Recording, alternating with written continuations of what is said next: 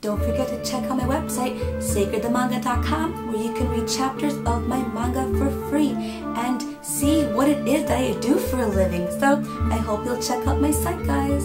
And yes, I did draw this myself.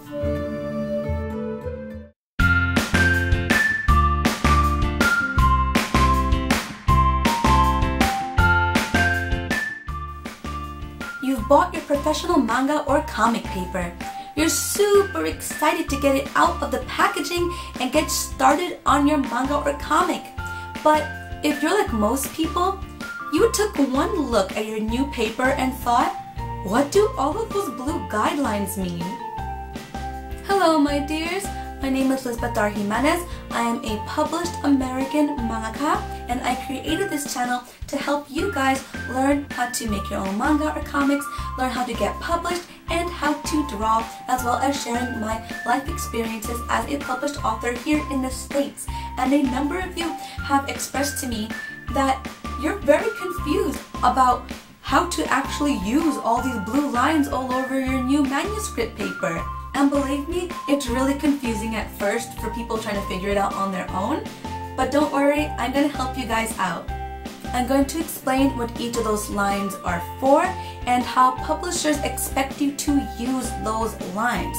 Because how you use the lines or misuse the lines is going to affect how your book is going to be printed and what your pages are actually going to look like when they are printed. So pay close attention and I hope my video will be super super helpful for you guys and do not forget to give this video a thumbs up if you liked it and found it useful and do not forget to subscribe in case you want to see more how to make comics and manga videos and how to get published videos. So let's get started guys! This is what a sheet of manga and comic paper looks like. But let's first talk about manga paper. Manga paper comes in two different sizes. The smaller size is used by amateurs for dojinshi, while the other is used by professionals for manga and tankoban. But we'll go more into that in a future video.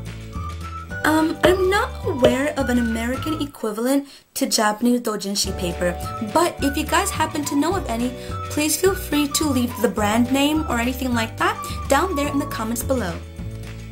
Also, be aware that the measurements of the manga and comic paper are different because American comics have different trim sizes than Japanese manga. So the manuscript paper will be proportionate to the books they will soon become when printed. So keep the size you want your book to be when choosing your manuscript paper. Do you want it to be the size of an American comic or a Japanese manga? You have to keep this in mind when choosing your manuscript paper. Now, moving on. Look at your manga or comic paper. You'll notice all of the guidelines are printed blue. This is so they won't show up when scanned or copied. Around the edges of your paper, you'll find rows of numbers. This will assist you while measuring panels. So don't worry about drawing any lopsided panels. You'll notice there is a solid line and a dotted line on your paper. The space between the number line and the solid line is the trim zone. When books are printed, a quarter of an inch is trimmed off of the edges of the pages. So when drawing on manuscript paper, remember you can draw up until the number line, but try not to draw crucial things like faces in this area. And remember not to add any dialogue in this area. They will be trimmed off. To learn more about how and why pages are trimmed when printed, please watch my video, What is a Full Bleed Page? It's the very first link in the description below. The space between the solid line and the dotted line will not be trimmed when printed, but be sure to keep speech bubbles away from the solid line and closer to the dotted line, unless you want your speech bubble to extend beyond the edge of the paper. These six rectangles are where publishers would add the page numbers.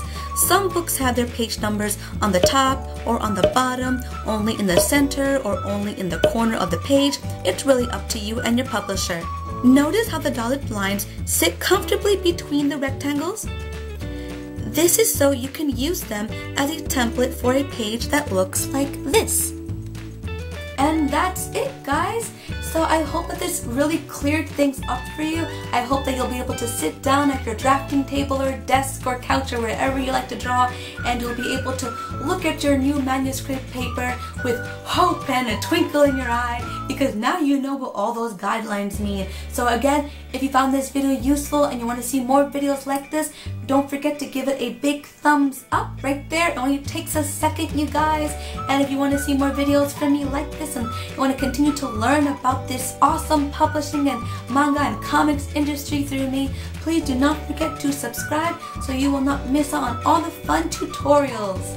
If you have any suggestions for any videos you'd like me to do, or you have any more questions about how to use manga and comics paper, please feel free to ask me right there in the comments below and leave your suggestions down there as well. And if I'm really, really like interested in your comment or I find it really useful for my subscribers, I may actually make a video response to your question. So do not forget to leave your comments and suggestions. Don't forget to follow me on social media like Instagram where I share my artwork with you guys every day. And don't forget to check out my site sacredthemanga.com where you can read chapters of my manga for free and see what it is I do for a living. So, until next Thursday, guys, please take care, God bless, and do not be afraid to nerd out. Please take care, guys, and enjoy making your comics and manga.